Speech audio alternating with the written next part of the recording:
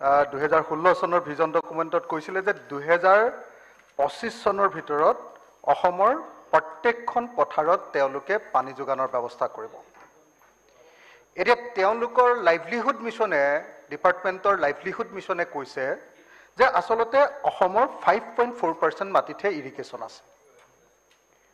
তো ভাৰতবৰ্ষৰ শ্ৰেষ্ঠ প্ৰধানমন্ত্ৰী আছে অসমৰ শ্ৰেষ্ঠ মুখ্যমন্ত্ৰী আছে এতিয়া কেতিয়া ইৰিগেশ্যন হ'ব।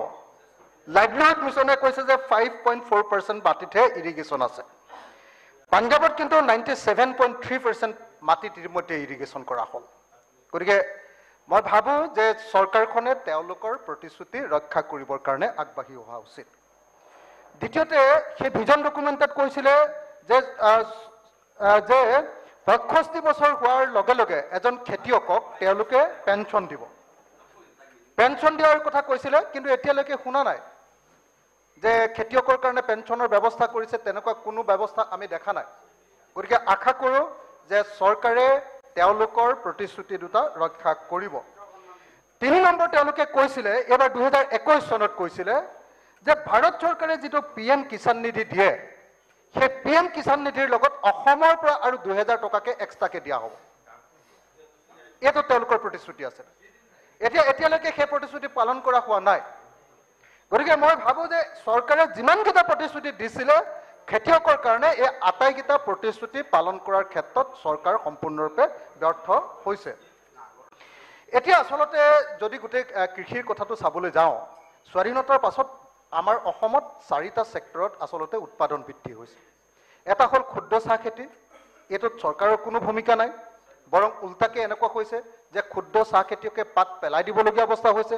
ক্ষুদ্ৰ চাহ খেতিয়কৰ পাতৰ দাম একেবাৰে নাই।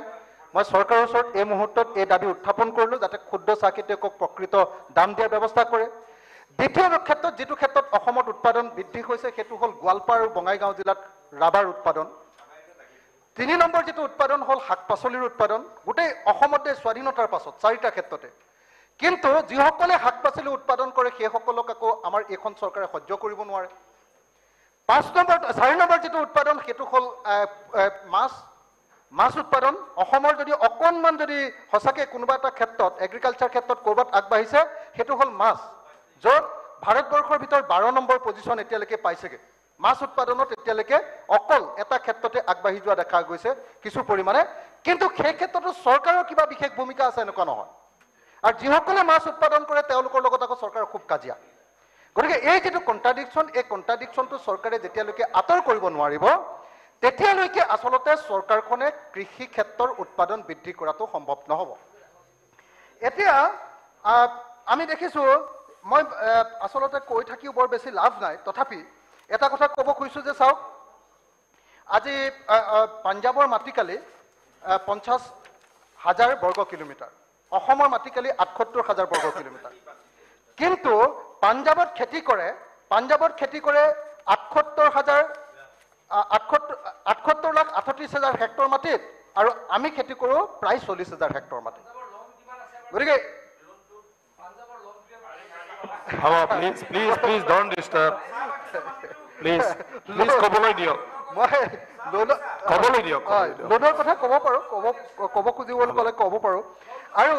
আজি আমাৰ ক্ৰপ ইণ্টেনচিটি যিটো আমি যিটো কৃষি কাৰ্যৰ যিটো ঘনত্ব এইটো ইম্পৰ্টেণ্ট বস্তু।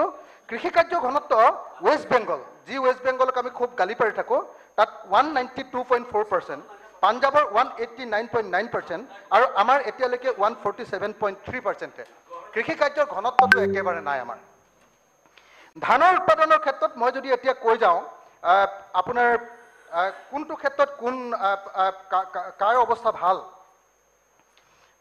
তেতিয়াহ'লে দেখা গৈছে যে আজি ধানৰ উৎপাদনৰ ক্ষেত্ৰত আমাৰ অৱস্থা বেয়া।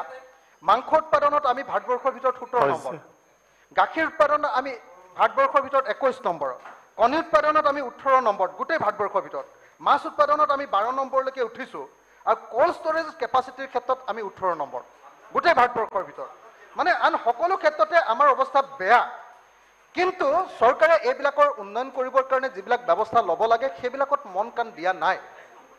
কেৱল জাতি আৰু মই চৰকাৰক এই মুহূৰ্তত দাবী জনাব খুজিছোঁ বেছি দীঘলীয়াকৈ ক'ব খোজা নাই। মাত্ৰ এইখিনি দাবীয়ে উত্থাপন কৰিব খুজিছোঁ চৰকাৰৰ ওচৰত যে চৰকাৰে আচলতে এগ্ৰিকালচাৰ উৎপাদন বৃদ্ধি কৰাৰ ক্ষেত্ৰত মনোযোগ মনোনিৱেশ কৰিব লাগে আৰু প্লিজ প্লিজ প্লিজ ক'বলৈ দিয়ক না। তো আপুনি সমাপ্ত কৰক দে কওক কৈ পেলাই সমাপ্ত কৰক? আৰু এইখিনি কৈয়ে মই কৰ্তন প্ৰস্তাৱ প্ৰস্তাৱৰ সমৰ্থনত আমাৰ প্ৰস্তাৱ উত্থাপন কৰিলোঁ আৰু আমি কৰ্তন প্ৰস্তাৱ উঠাই লোৱা নাই আমি আকৌ কৰ্তন প্ৰস্তাৱ পুনৰ সমৰ্থন কৰিলোঁ। ধন্যবাদ। ধন্যবাদ।